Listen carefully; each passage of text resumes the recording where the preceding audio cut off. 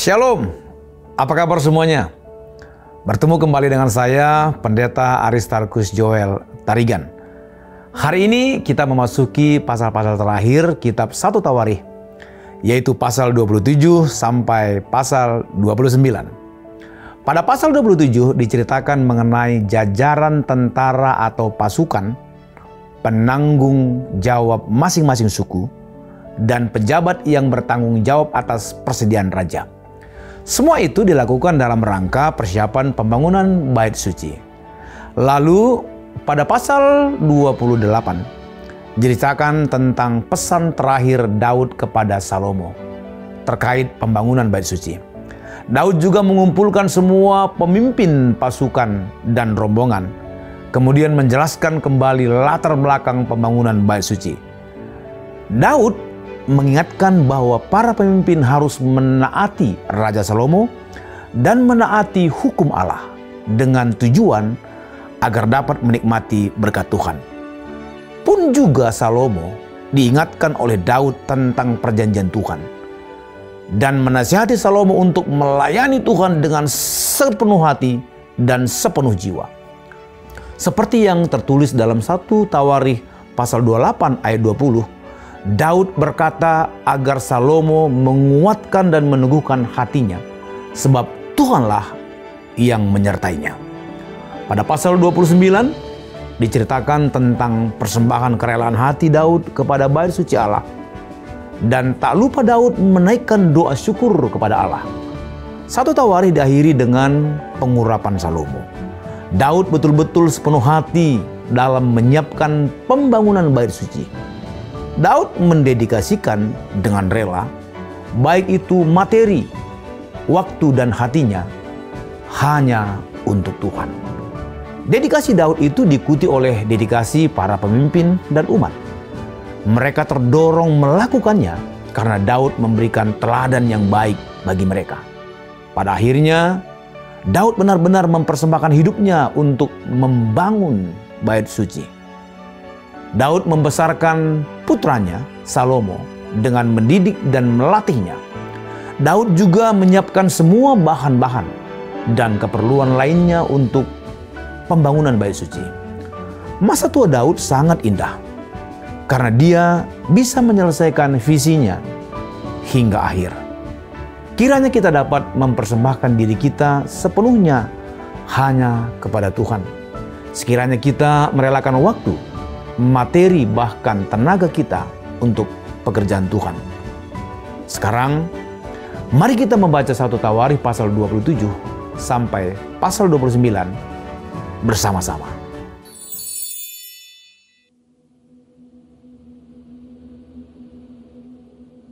Adapun orang Israel, inilah daftar para kepala puak, para panglima pasukan seribu dan pasukan seratus, dan para pengatur yang melayani raja dalam segala hal mengenai rombongan orang-orang yang bertugas dan libur, bulan demi bulan, sepanjang tahun.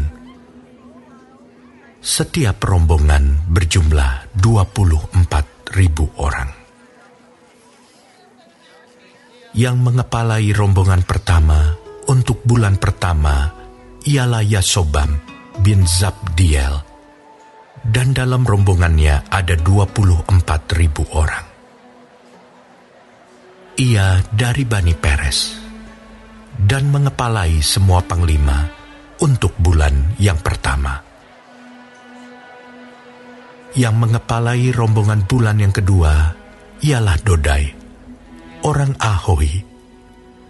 Sedang pemimpin rombongannya yang berjumlah 24 ribu orang adalah Miklot, panglima yang ketiga untuk bulan yang ketiga ialah Benaya, anak imam kepala Yoyada. Dan dalam rombongannya ada 24 ribu orang. Benaya ini adalah seorang dari ketiga puluh pahlawan dan mengepalai ketiga puluh orang itu.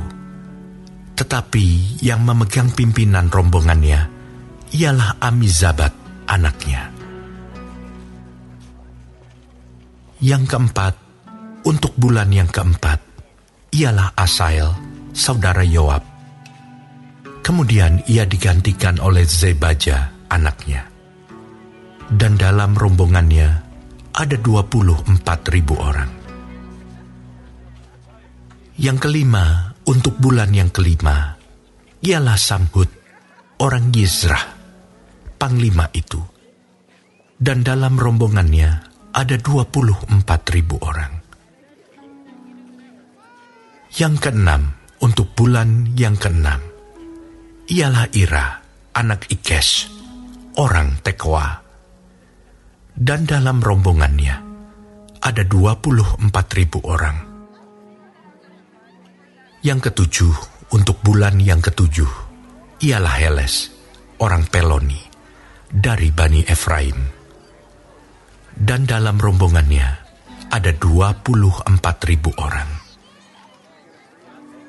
Yang kedelapan, untuk bulan yang kedelapan, ialah Sipkai, orang Husa, dari orang Zerah itu. Dan dalam rombongannya ada 24 ribu orang. Yang kesembilan untuk bulan yang kesembilan ialah Abiezer, orang Anatot itu, dari Bani Benyamin. Dan dalam rombongannya ada 24 ribu orang. Yang kesepuluh untuk bulan yang kesepuluh ialah Maharai, orang Netofa dari orang Zerah itu. Dan dalam rombongannya ada 24 ribu orang. Yang ke-11 untuk bulan yang ke-11 ialah Benaya, orang Piraton, dari Bani Efraim. Dan dalam rombongannya ada 24 ribu orang. Yang ke-12 untuk bulan yang ke-12 ialah Heldai, orang Netofa itu, keturunan Otniel. Dan dalam rombongannya ada 24 ribu orang. Yang mengepalai suku-suku Israel. Untuk orang Ruben, ialah Eliezer bin Sikri sebagai pemimpin. Untuk orang Simeon, ialah Sefaca bin Maaka. Untuk suku Lewi ialah Hasabia bin Kemuel. Untuk keturunan Harun ialah Zadok. Untuk suku Yehuda, ialah Elihu, salah seorang saudara Daud. Untuk suku Isakar, ialah Omri bin Mikael. Untuk suku Zebulon, ialah Yismaya bin Obaja. Untuk suku Naftali, ialah Gerimot bin Azriel.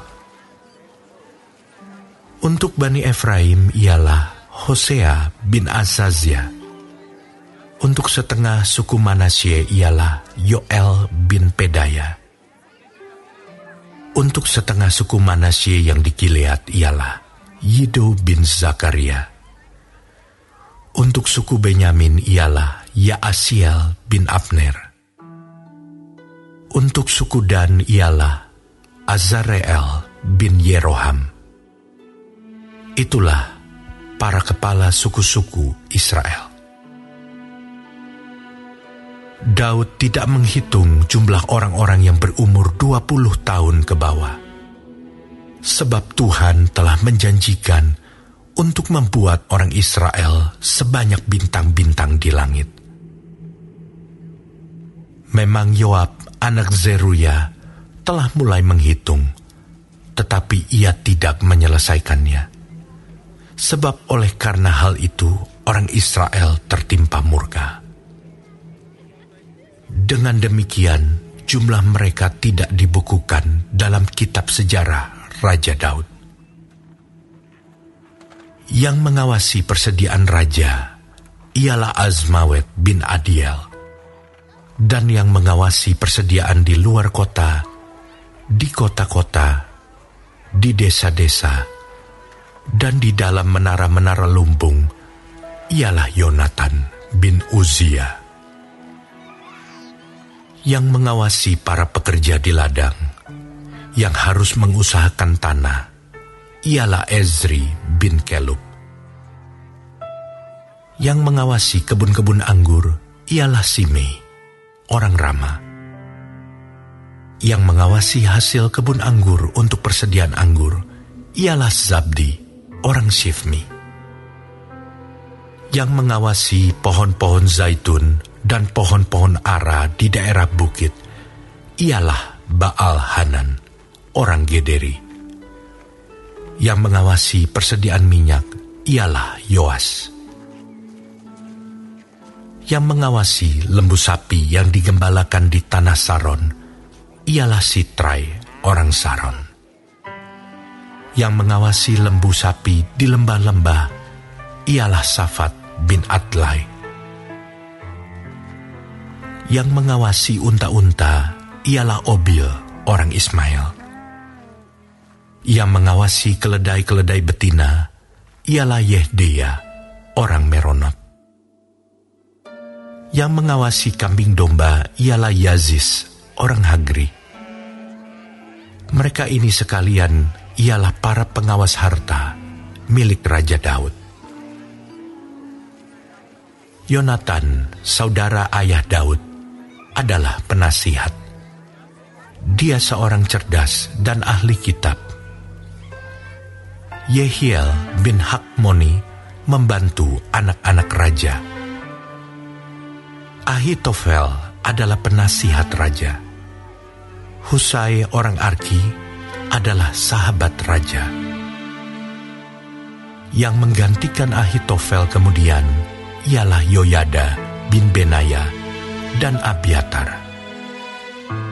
Panglima Raja ialah Yoab.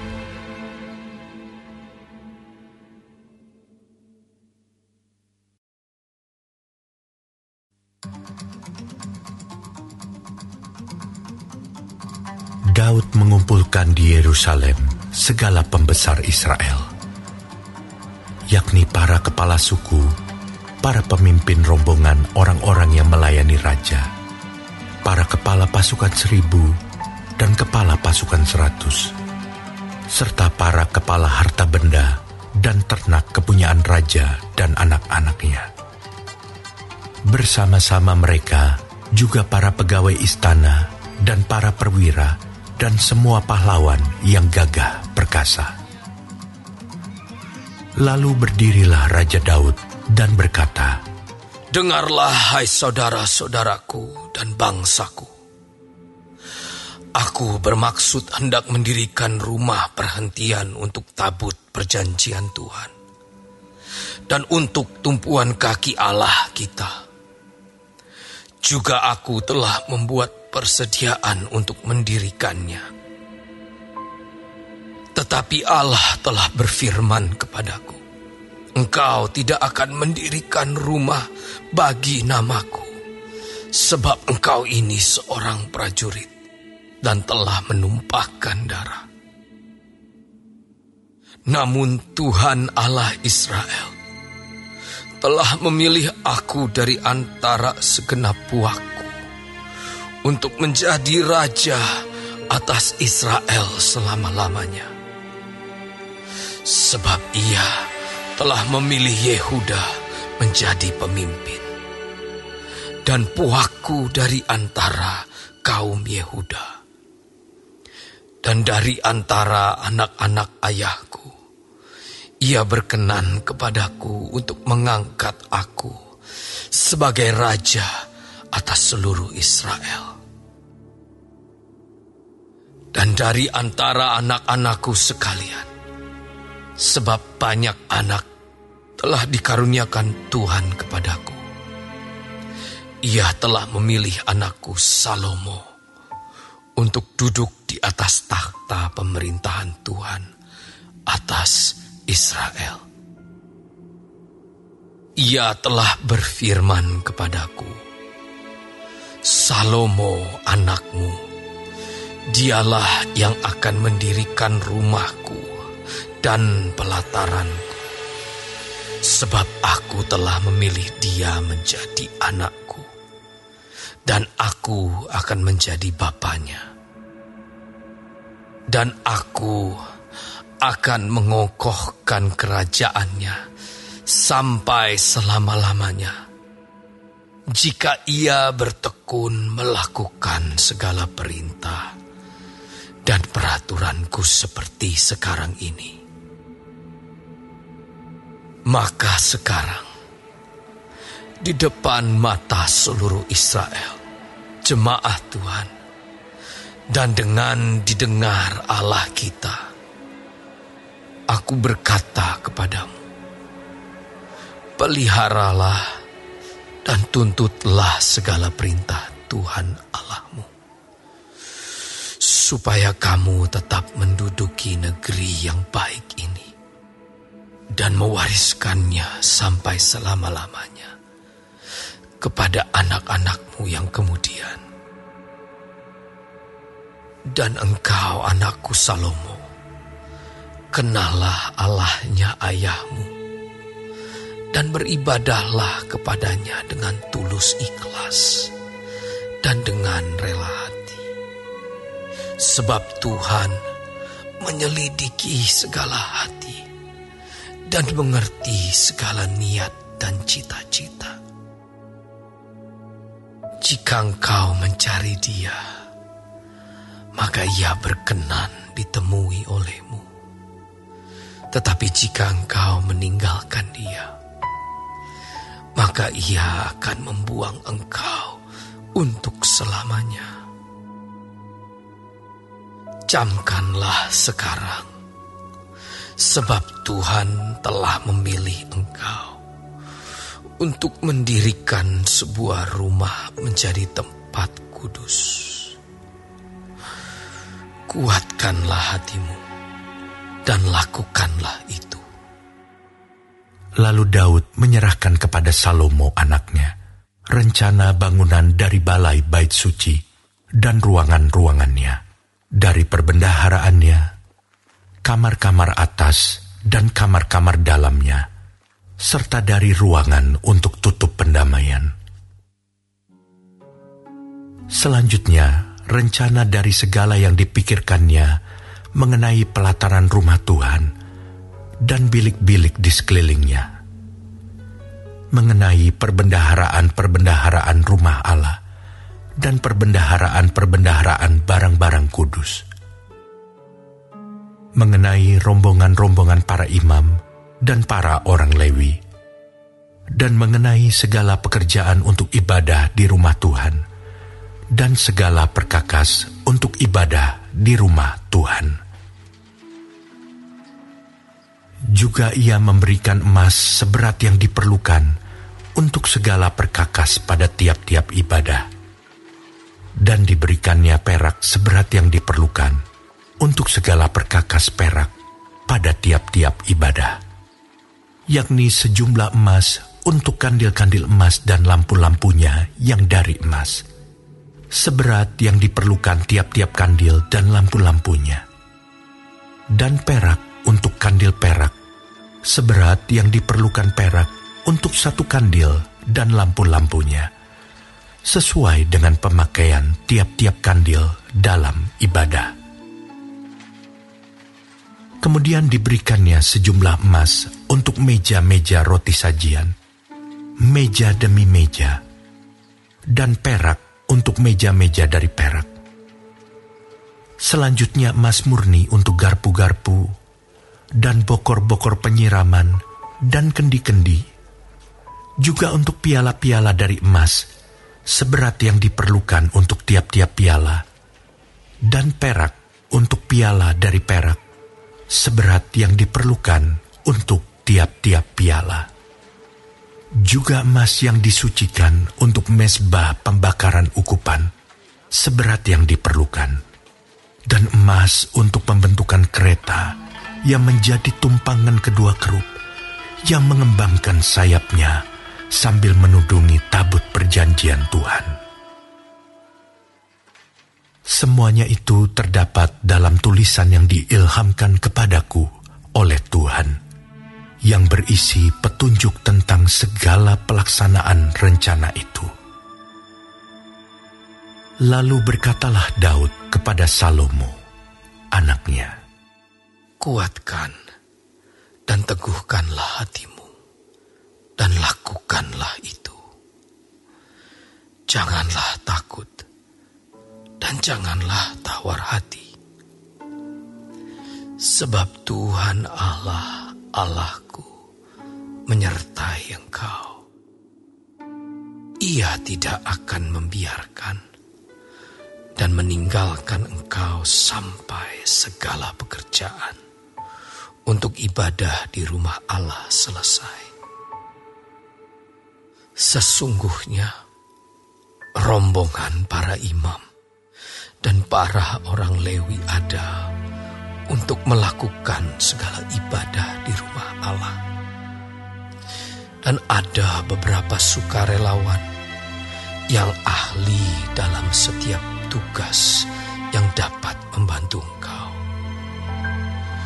juga para pemimpin dan seluruh rakyat ini sepenuhnya ada di bawah perintahmu.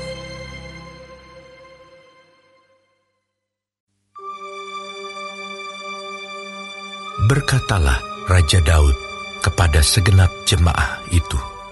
Salomo anakku yang satu-satunya dipilih Allah adalah masih muda dan kurang berpengalaman. Sedang pekerjaan ini besar, sebab bukanlah untuk manusia bait itu, melainkan untuk Tuhan Allah. Dengan segenap kemampuan, aku telah mengadakan persediaan untuk rumah Allahku, yakni emas untuk barang-barang emas, perak untuk barang-barang perak, tembaga untuk barang-barang tembaga, besi untuk barang-barang besi, dan kayu untuk barang-barang kayu.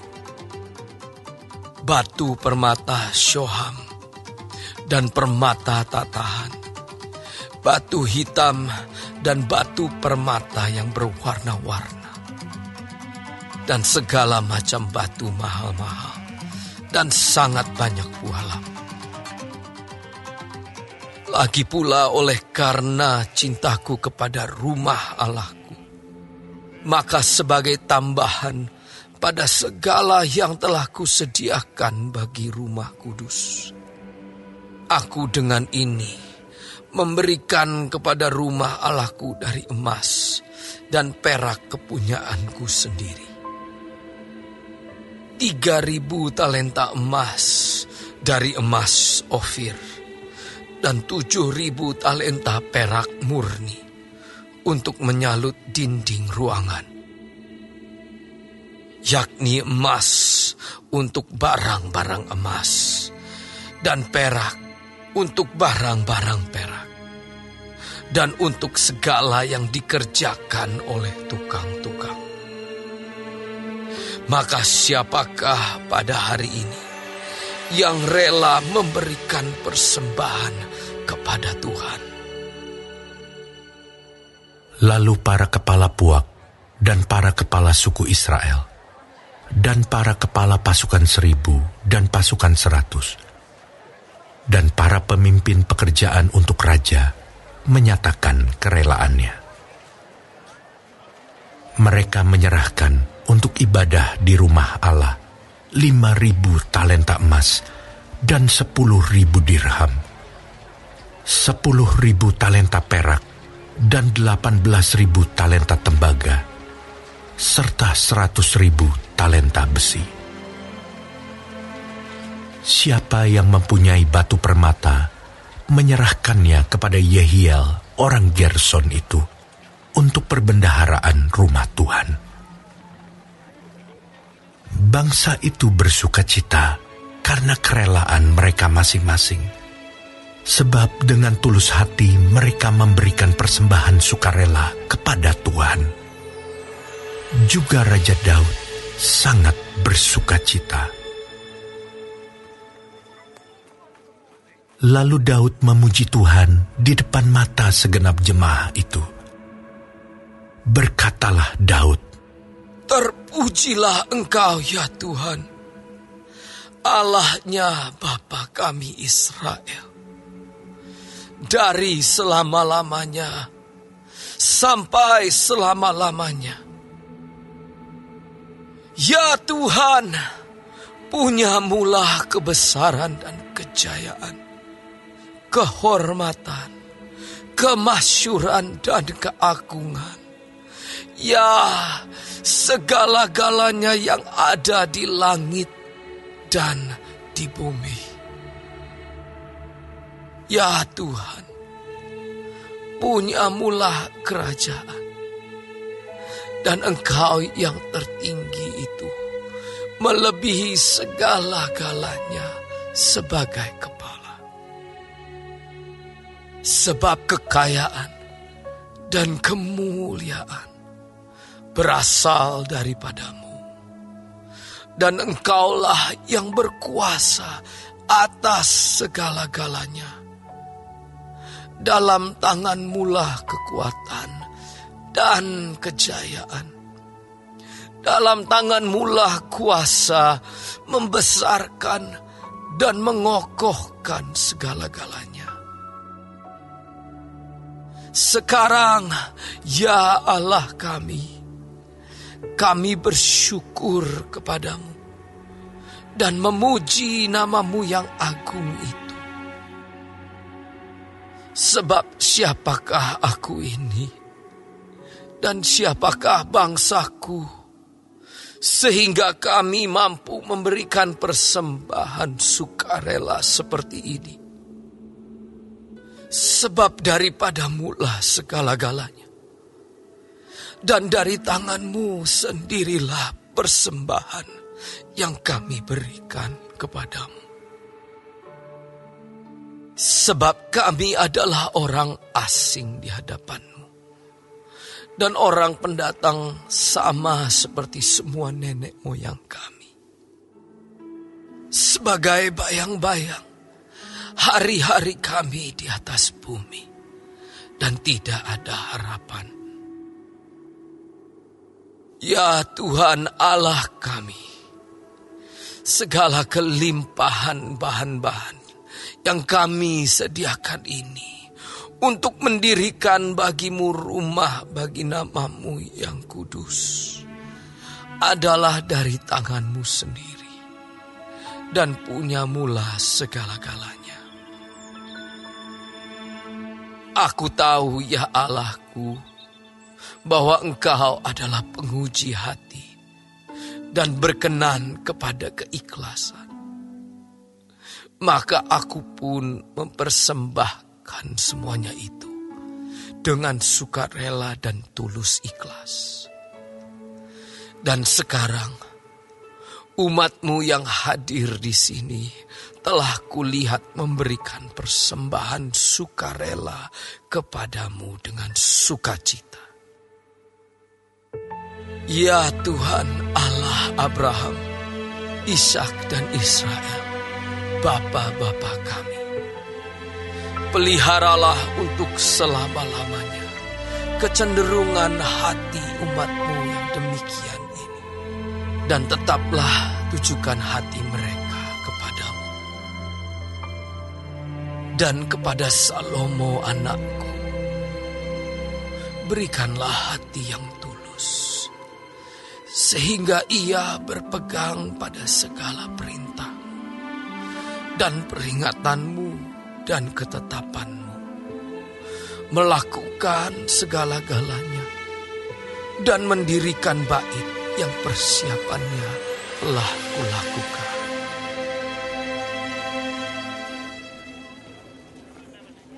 Kemudian berkatalah Daud kepada segenap jemaah itu, Pujilah kiranya Tuhan Allahmu. Maka segenap jemaah itu memuji Tuhan, Allah nenek moyang mereka. Kemudian mereka berlutut dan sujud kepada Tuhan dan kepada Raja. Keesokan harinya, mereka mempersembahkan korban sembelihan dan korban bakaran kepada Tuhan yakni seribu ekor lembu, seribu ekor domba jantan, dan seribu ekor domba muda dengan korban-korban curahannya dan sangat banyak korban sembelihan demi seluruh Israel. Lalu mereka makan dan minum pada hari itu di hadapan Tuhan dengan sukacita yang besar. Kemudian menyatakan untuk kedua kalinya Salomo anak Daud sebagai raja dan mengurapi dia bagi Tuhan sebagai raja dan Zadok sebagai imam. Kemudian duduklah Salomo sebagai raja menggantikan Daud ayahnya di atas takhta yang ditetapkan Tuhan. Ia mendapat kemujuran sehingga setiap orang Israel mendengarkan perkataannya. Lalu semua pemimpin dan pahlawan, juga semua anak Raja Daud, mengakui kekuasaan Raja Salomo. Tuhan membuat Salomo luar biasa besar di mata seluruh orang Israel dan mengaruniakan kepadanya keagungan kerajaan seperti tidak pernah ada pada semua raja sebelum dia yang memerintah atas Israel. Demikianlah Daud bin Isai telah memerintah atas seluruh Israel. Ia memerintah atas orang Israel selama empat puluh tahun. Di Hebron ia memerintah tujuh tahun. Dan di Yerusalem ia memerintah tiga puluh tiga tahun. Kemudian matilah ia pada waktu telah putih rambutnya. Lanjut umurnya, penuh kekayaan dan kemuliaan. Kemudian naik rajalah Salomo, anaknya, menggantikan dia. Sesungguhnya, riwayat Raja Daud dari awal sampai akhir tertulis dalam riwayat Samuel pelihat itu dan dalam riwayat Nabi Nathan, dan dalam riwayat Gad, pelihat itu.